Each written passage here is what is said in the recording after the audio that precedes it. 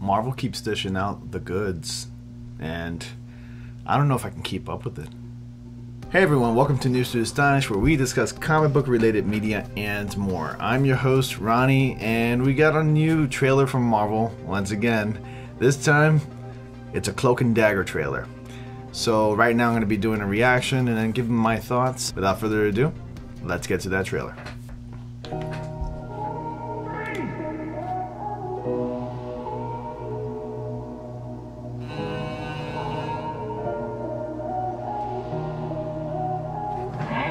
About that night.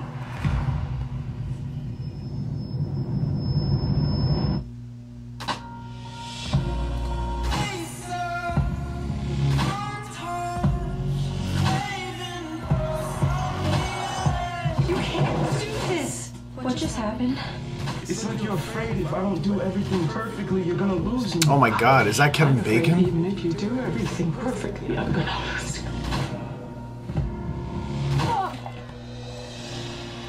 What's your name? Tandy. And his name was. Yeah, Tyrone.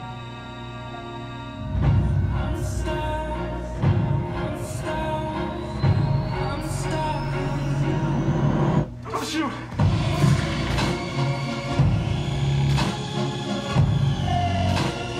This definitely has a different vibe to it, different tone.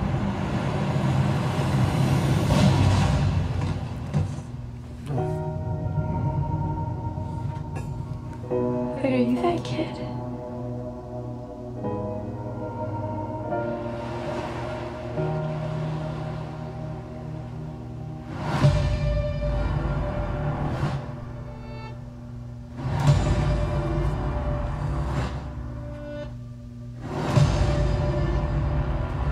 Oh, wow.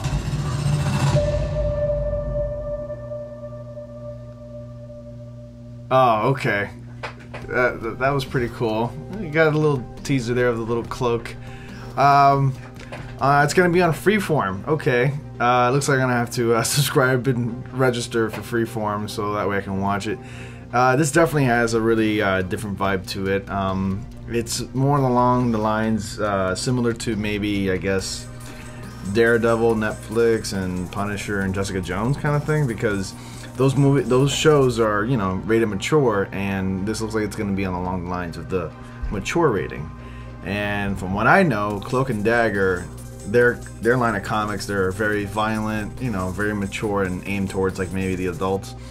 So this looks like it's going to be following along that line of things. It's going to be following along that scope.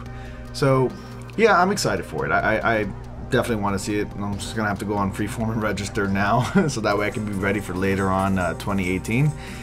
And yeah, and man, the Marvel Universe is just expanding. It's hitting every corner, every character, and I'm really excited for this.